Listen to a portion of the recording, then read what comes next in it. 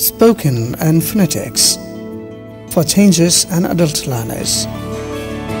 Presentation 08 The Earth. Hello, dear friends. Welcome to today's presentation on learning about the Earth. Our planet Earth is a very interesting place with many fascinating facts to learn about.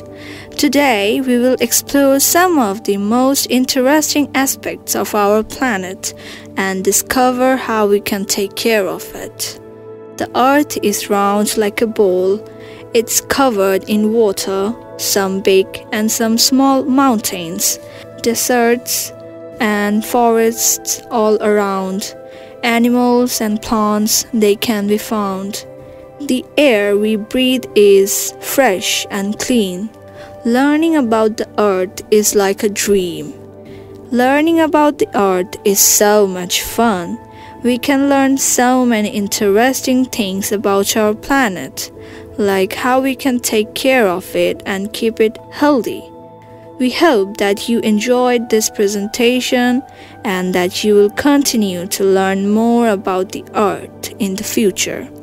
Remember, we only have one earth. So let's do our best to take care of it.